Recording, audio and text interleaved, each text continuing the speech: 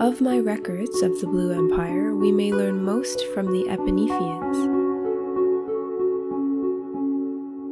Though many merfolk have distinct sex and gender, Epinephians are entirely in control of theirs.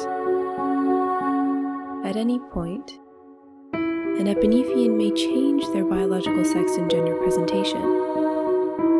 Some choose at childhood and remain fixed, some remain ambiguous, some freely change throughout their lives.